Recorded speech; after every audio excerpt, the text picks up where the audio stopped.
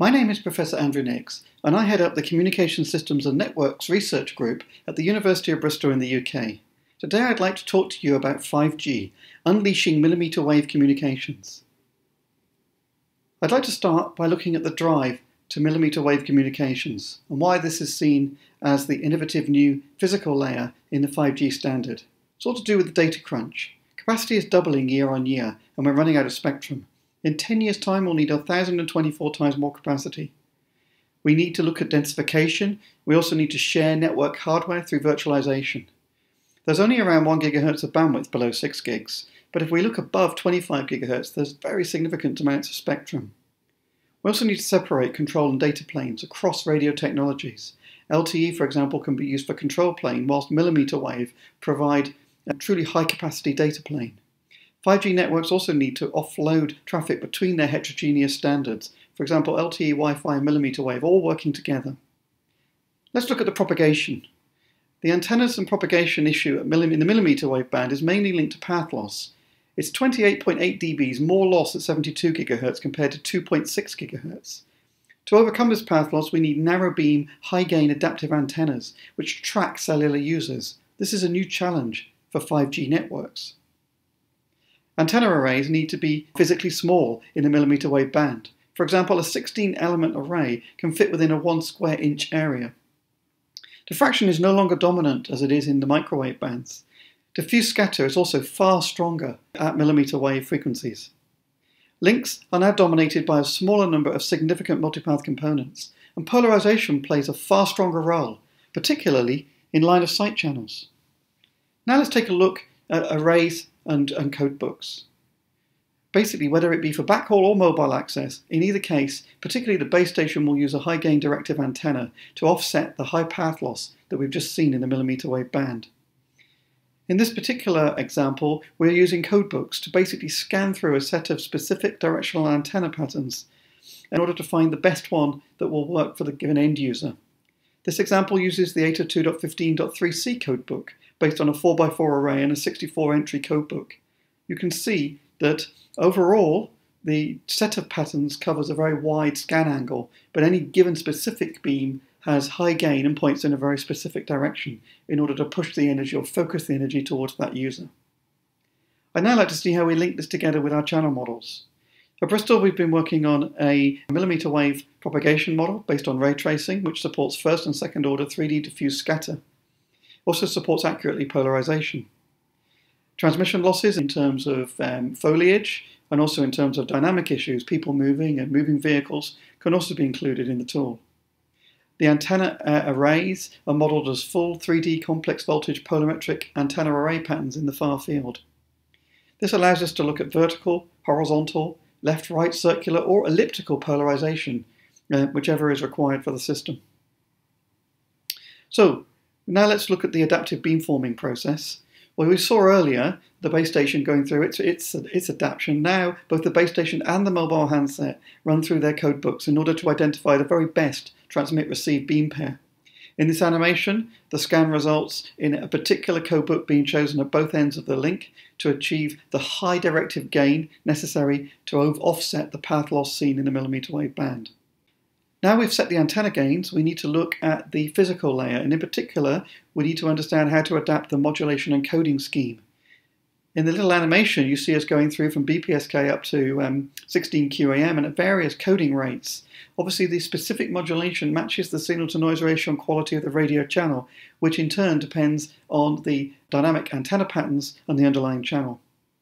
Having set all the adaptations in place, we finally come to the medium access control layer, which looks at protocols and user scheduling. The MAC is responsible for ensuring that multiple users can efficiently share the same radio resource. So putting all these pieces together, we can now take a look at this um, virtual network simulation animation. Here we see a user walking around a virtual square. On this square are several lamppost mounted base stations and a number of trees um, to provide challenges due to foliage obstruction. From each lamppost, we trace the significant components to the user and then choose the most likely lamppost. Having chosen the most likely lamppost, we then beamform and do MCS selection, allowing us to track, for example, throughput and MCS mode as the user moves in basically distance and in time. This animation was originally shown at the Small Cell World Summit in London earlier this summer. And if you're interested, the full presentation can be downloaded using the YouTube clip in the top right hand corner. Next, we look at dynamics. Here we have a, a London bus um, basically driving through a backhaul link. Now, we may not normally design a link such that the buses can break it, but in this example, as the bus breaks the link, we can see the adaptive antenna system jumps to diffuse scatter from a nearby wall. Similarly, when the bus breaks the diffuse scatter, the main link can still be used. Even when the bus drives through the main link, we're able to achieve between 1 and 2 gigabits per second on this particular backhaul link. It shows the importance of time evolution and dynamics in the understanding and design of our systems. Again, putting these pieces together, the user is walking around the same square we saw earlier, but this time we're logging far more detailed data. Here we're able to log, for example, information from the radio channel, the Rician K factor showing the dominance of the main components, the RMS delay spread based on the resulting um, beamformed antennas. We're also able to look at the signal to noise ratio and whether the link has a line of sight or a non line of sight to the chosen base station.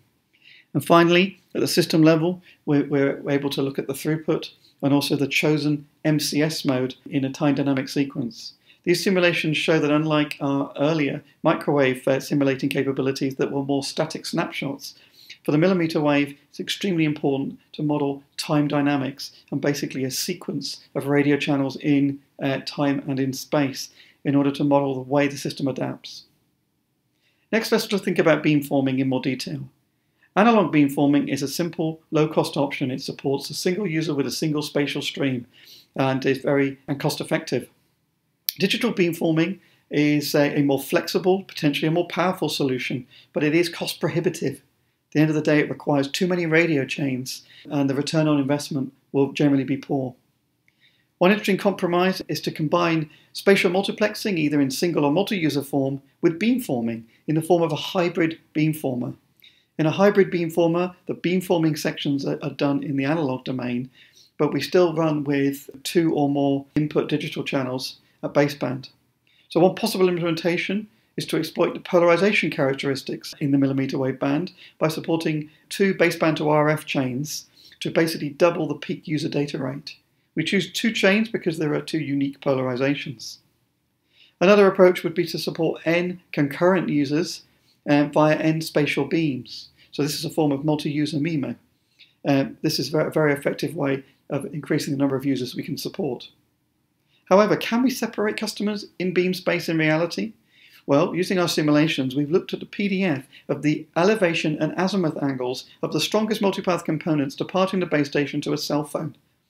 What we actually found was that the departure angles at the base station were not uniformly distributed in the azimuth plane, but they were actually very much focused in two particular directions. You can see from the diagram the kind of red and yellow uh, spots, basically at plus or minus 90 degrees, indicating the, the strong preference for the base station's departures. On top of this diagram, we've also superimposed the 3D contours of the codebook so that you can see which codebook would be selected and used for each azimuth and elevation angle. What we see is the same beam pattern would be selected for many, many users. And in fact, this trend is even worse if we constrain users to sidewalks. Users in the same beam contour would need to be separated in polarization, time, or frequency.